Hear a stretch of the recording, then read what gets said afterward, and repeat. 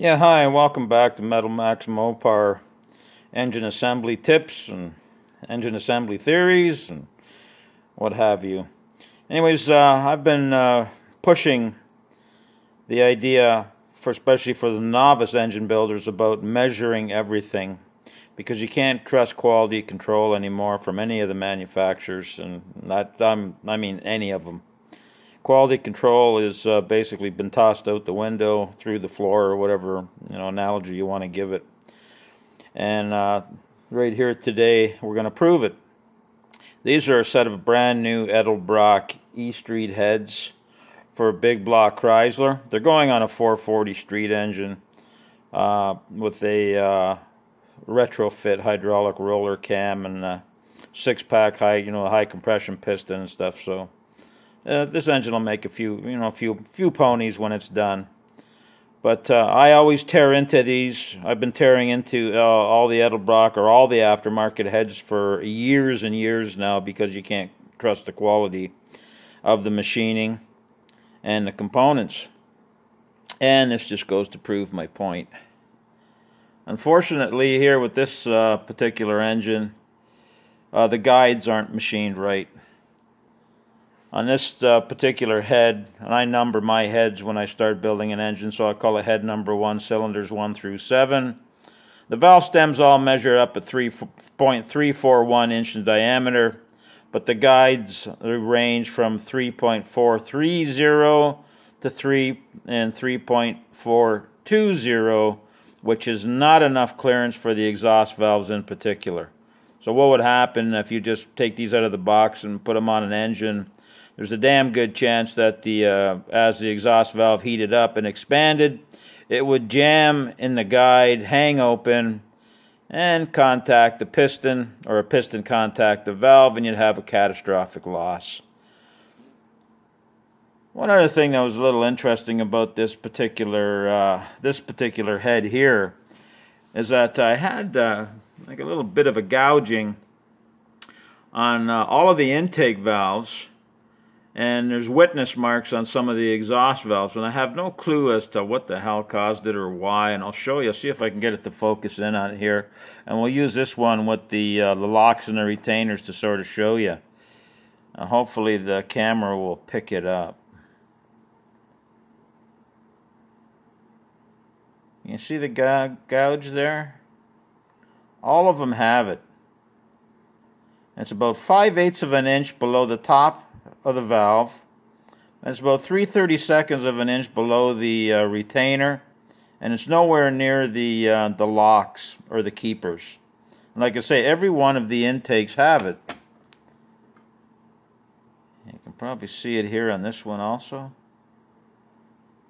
I'm a little perplexed as what the hell would cause that during assembly. I've never seen this before.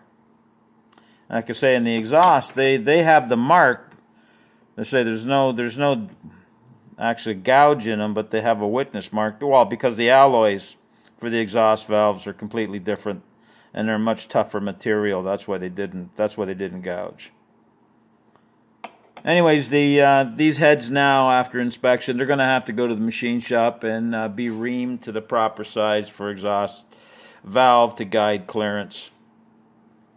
And one thing I want to point out. Uh, to those, I want a minimum of 3 thou clearance on the exhaust valve to uh, exhaust valve stem to the exhaust valve guide. Minimum 3 thou clearance. Because if you don't get that, like I say, too much chance for uh, the valve sticking in the guide. And this these valves here were fine, not a mark on them. The only thing they did, they measured up a little, they're a little bit out. Uh, these the other ones were all 3.341 in diameter. These ones range from 3.407 to 3.41, which is not that big a deal. Again, one other thing I want to point out on these guys here is that uh, you may see something on the head that looks like little little specks of pepper. But it's not pepper obviously and it's not dirt. And I don't know if this camera will pick it up.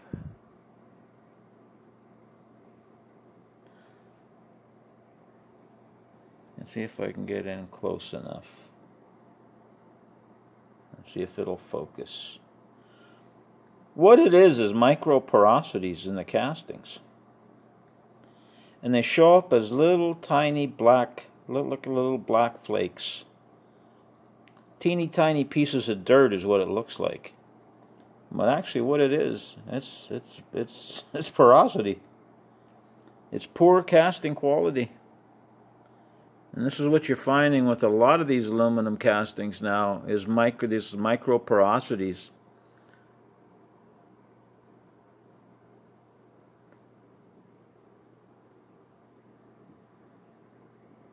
Now what this will do over time is going to be interesting to see. But again, it just shows you where the hell quality control is gone as it relates to automotive engines in the aftermarket. I think you can see it too here on uh, this particular head if I can get it in close enough and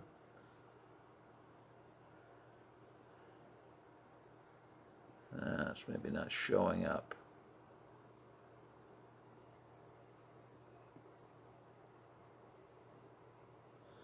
But that's what it is. It looks like teeny tiny little flakes of pepper. Black pepper or teeny tiny little pieces of dirt, but it's not dirt. Porosities. And there's no way to get rid of them. I mean, you just if you resurface the head, just they'll just more of them will just pop up because it's right into it's cast right into the material.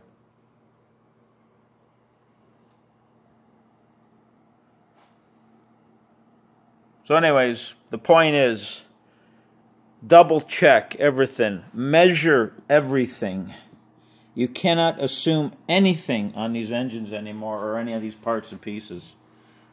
So, end up buying yourself a decent little micrometer, something that'll measure into the uh, 10 thou range. This is a you know old manual. Starrett, good, and then start whole small hole gauge or have your machine shop do it. Because without it, you're just guessing. And don't buy any of this nonsense about just take them out of the box and bolt them on because that that's just a crapshoot. Uh, and you'll find out the hard way. And say if the valve hangs up, and they've been known to hang up. So, anyways, we'll leave it at that. We'll continue on with the videos next time. Thanks for watching. Bye now.